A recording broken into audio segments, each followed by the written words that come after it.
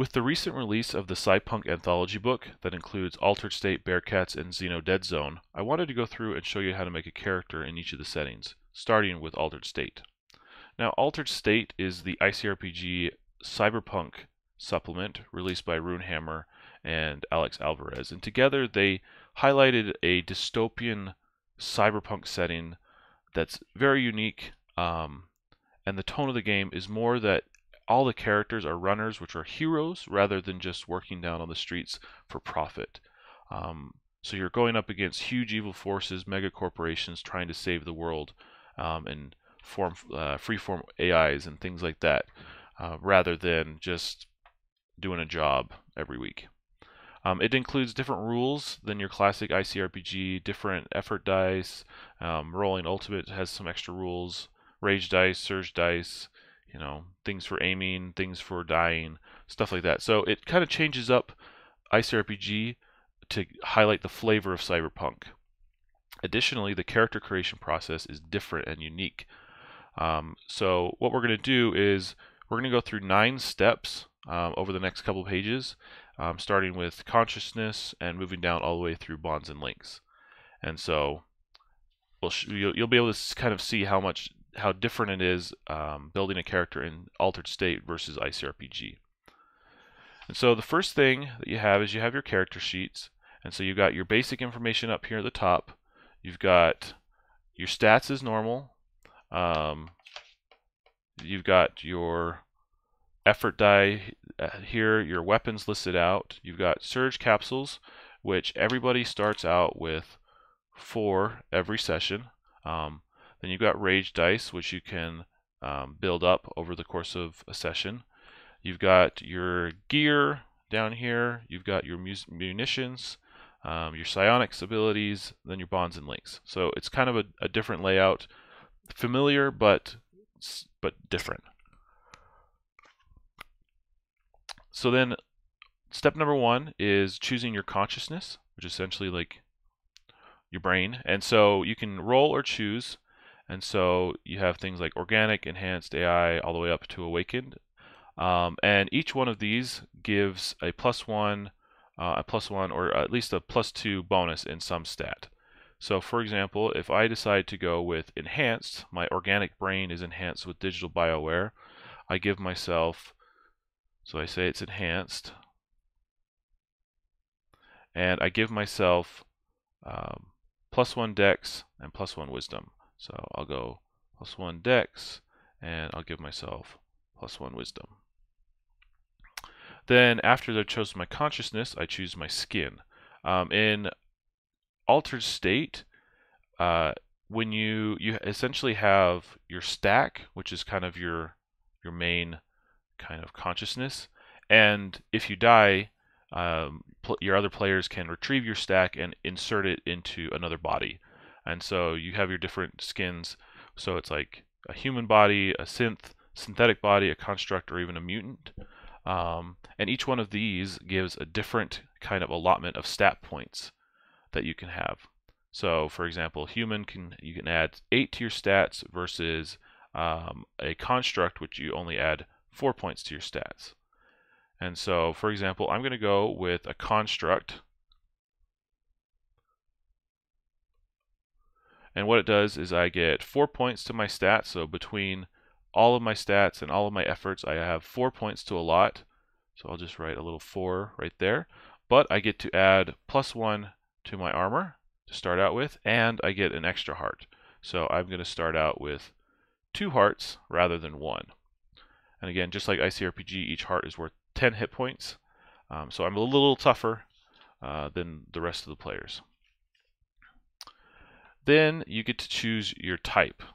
Um, and Altered State really dives deeper into the tag philosophy, where you get a little tag and a little mechanical bonus to it. So you've got your different types like Slicer, Decker, Exo, Psychic, um, Operative, and Shifter. Um, so for my enhanced construct, so I have an enhanced brain. I'm essentially a robot um, or an Android of some kind. So for me, I think I think this this shifter looks pretty pretty cool. Um, and so I can just say that I'm a shifter. And then I get to choose one of the tags. So each each uh, type comes with two tags and it gives you a bonus. So for example, the shifter, the good, the bad, and the ugly, roll easy with charisma to impersonate or become another person, or shadow walk anytime you roll for stealth, roll easy. So I'm thinking to myself, my my construct, I feel like stealth is the way to go. And so I'm going to write just shadow walk as my tag, and then that means stealth equals easy. Okay. Um, then up here next you have your enhancements. So every character gets to roll or choose two enhancements. And so you got things that you're enhancing your body with. I mean, we're talking cyberpunk, so you go um, you go and you get a metal arm, you get a cybernetic eye, you get um, your reflexes augmented, things like that. So you got everything like the cyber cyber optics, which gives you a bonus to some stat and some kind of ability. So I think for me, cyber optics sounds pretty cool. So I'll do I'll write that up. Optics. I'll include the plus one wisdom that I get. And it says movement detection. I get a five times zoom and I get uh, to trace chemical residue to the course of the game. So I have a, a, little bonus, something to make my character shine in that way because I've augmented my body with that. Um, then polyresin skeleton. Uh, that sounds pretty good. So my other enhancement is a polyresin skeleton,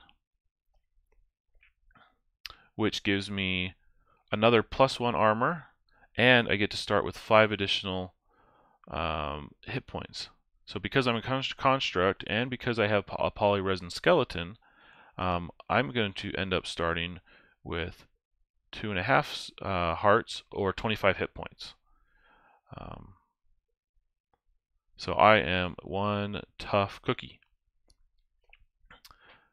Now the the thing that you want to you can do as well is that if you don't want to necessarily uh, enhance your body and make them kind of like permanent attachments to your character's, you know, being, you can also just substitute any one of these enhancements with gear. And you can just say, it's not actually a part of me, it's gear, so it's not permanently attached, um, but it could be lost. So kind of gives a, a, little bit more flexibility. Um, then next up is equipment. Come here. Um, it's just got some basic equipment here. You can roll or choose two of them. And so let's go with um, for my stealthy robot.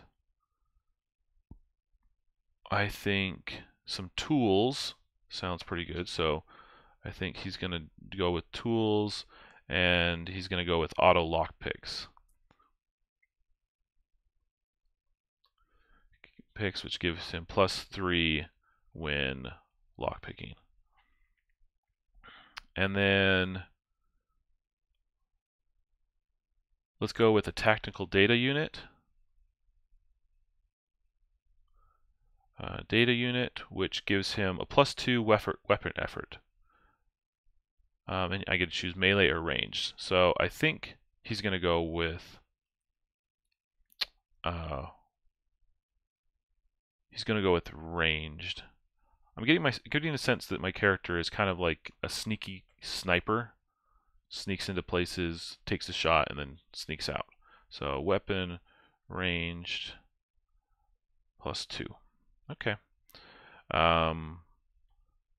So, it weapon effort specifically, you know, specifically gun. So plus two to gun, and then you actually get to choose weapons. Um, so there's kind of two different pages of weapons and you get to choose two weapons to go with it. So I'm feeling that sneaky sniper. So we're going to go through um, the PMG heavy. So PMG heavy sniper. And uh, another part of Altered State that does really well is they keep their the all every it's like an exercise in brevity. So everything is just little snippets of of of information. So for example, long range auto, semi-automatic sniper shoots through walls, ultimate effort, 6 capacity. So sniper deals ultimate. Ultimate and it's got its capacity of 6. Okay, and then I think for him, if he's sneaking into places, I think he also has some kind of uh, extra weapon. And he's going to go with the Shikomizu Broadsword. Which is, let's see, let's make sure you can see that. Shikomizu Broadsword never breaks, can be used as a pry board, does two times damage to all non-mechanized foes, um, has a unique tendency to turn up even when lost. Shikomizu Broadsword. So we're going to be just doing two times damage and we'll be able to remember kind of the extra bits. Then, so we've got our weapons, but we also have munitions. So this is special ammo. Um, and so you get to choose one ammo and one explosive type to just carry with you. And so you got things like venom, splinter, heat, EMP, things like that. And so this is stuff that you can decide on your turn, okay, I'm going to use this type of ammo versus just the regular basic ammo. And it kind of lets you give a, a little bit of extra punch to your guns. And so I'm going to go with um, armor piercing. And so right here, all I got to do is um, just kind of mark off that I've got 10 armor piercing rounds. And you can't really see it in the camera, but each one of these on this character sheet kind of lists out the munitions, the weapon type, and it gives you the basic rules um, to give that refreshing memory. So like extra D8 damage, um, ignore armor effects. So you can do that. So then I can just, every time I take a shot with armor piercing round, I can just mark it down and keep track of it on the, on the edge or on a different piece of paper. And then for explosives, I get to, you know, uh, hallucinogen, smoke grenades, micro breaching. Um, I'm going to go with spider mines. So crawl to target any surface and then do explode for two times ultimate. Okay. Um, so then the next thing you have is you, if you chose the psychic character type, you can also choose for psionics, which are essentially kind of like those psychic powers um, and allows you to start building up rage dice as well um, to use in those uh, in those instances. So you got things like crush, lash, EM pulse, fly, flay, you know, astral flight, nightmare. So kind of these psychic psionic abilities.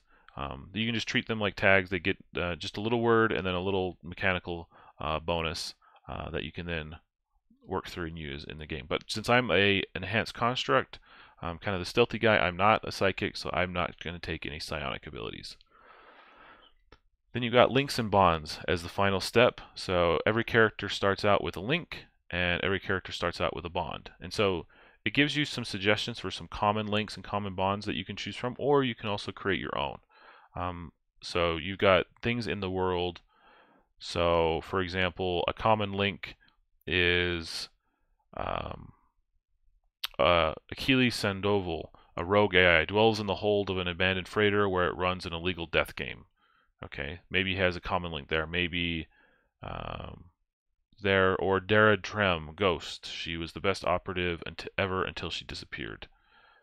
So I think for my stealthy sniper guy, um, he probably has some connection with Achilles Sandoval. For whatever reason, he he's he's had a run in with the death game and with this rogue AI.